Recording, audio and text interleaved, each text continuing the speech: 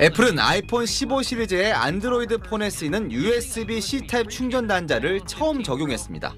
고급 모델에는 두뇌 역할을 하는 메인 칩으로 최신 A17 프로를 탑재했고 티타늄 케이스를 입혔습니다. Our Pro models represent the very best of Apple innovations, advancing features across design, camera, performance, and more. 최대 관심사였던 가격은 논란입니다. 아이폰 15 기본 모델은 125만 원, 가장 고가 모델인 프로맥스는 190만 원부터 시작해 1년 전 나온 아이폰 14 시리즈와 같습니다. 그런데 1년 전보다 원달러 환율이 약 60원, 4% 정도 떨어진 상태여서 같은 가격이란 건 사실상 인상이라는 반응도 많습니다. 동시에 가격을 발표한 일본, 중국과 비교해도 현재 환율로 한국에서 8만 원에서 19만 원 비쌉니다. 사실상 기능상으로 뭔가 바뀐 것도 없고 가격 올린 거에 대해서는 아무래도 반감이 생기더라고요. 이게 가격 때문에 부담스럽긴 한데 근데 계속 아이폰을 쓰다 보면은 그 돈 내고 쓰지 않을까 싶어요. 10대와 20대의 65%가 아이폰을 쓴다는 조사 결과도 있을 만큼 충성도가 강한 국내 젊은 소비자층에 기댄 배짱 가격이란 반응이 나올 정도입니다. 대부분 애들 다 쓰는 걸로 알고 있는데 AirDrop 같은 거 쓸 땐 좀 불편한 게 있긴 해요. 다 할아버지가 사줘요. 그래서 사면은 항상 일주일씩 할아버지 집 가 있고. 삼성전자는 혁신은 삼성 제품에만 있다는 SNS 영상을 통해 아이폰 신제품을 우회적으로 저격했고 뉴욕 증시에서 애플 주가는 1.7% 하락했습니다. 국내에선 이르면 10월 중순쯤 정식 출시될 것으로 보입니다. SBS 홍유재입니다. 우리 시간으로 오늘 새벽 애플이 새 제품인 아이폰 15 네 종류를 발표했습니다. 최고 사양인 프로 모델에 티타늄 재질을 써서 무게를 줄였고 타이완 TSMC가 만든 최첨단 프로세서도 탑재했습니다. 또 그동안 고집해왔던 Lightning 충전 방식을 버리고 삼성 등 안드로이드와 같은 USB 방식을 채택했습니다. 올 2분기부터 미국을 제치고 아이폰을 제일 많이 사는 나라가 된 중국을 의식한 듯 중국어로 게임이 잘 구현된다는 점도 강조했습니다. A17 Pro 的 GPU 速度有了进一步的提升，以及 Metal FX Upscaling 技术可以让我们把更快的响应时。 미국에서는 작년과 같은 가격을 매겼지만 한국 가격은 사실상 높였습니다.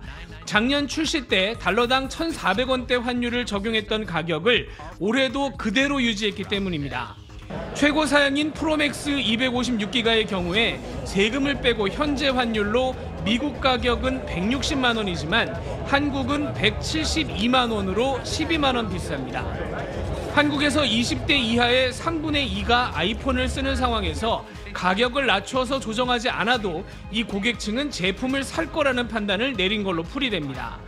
대신 새 제품을 사면서 기존 제품을 반납하면 모델에 따라서 미국보다 더 높은 값을 돌려줄 방침입니다. 미국엔 다음 주 후반 신제품을 출시하는데 한국 출시 일정은 정해지지 않았습니다. 뉴욕에서 SBS 김범주입니다. 중국의 아이폰 금지령 보도로 애플의 시가총액 253조 원이 허공으로 사라진 뒤 베트남을 방문 중인 바이든 미국 대통령이 이 문제를 언급했습니다. Uh, in terms of trade and other issues. For example, is that they're now talking about knowing the Chinese government can use a Western cell phone. 애플에게 중국은 미국과 EU에 이어 세 번째로 큰 시장으로 전체 매출액의 19%를 차지합니다. 우리 부품 업체들도 긴장하는 기색이 역력합니다. 아이폰의 카메라 모듈을 공급하는 LG 이노텍은 올 상반기 매출액의 75%가 애플 관련 매출입니다. 신제품 아이폰 15 시리즈의 OLED 패널을 공급할 삼성과 LG 디스플레이도 애플 관련 매출 비중이 크고 D램을 공급하는 삼성전자와 SK하이닉스도 아이폰 매출 영향을 받습니다.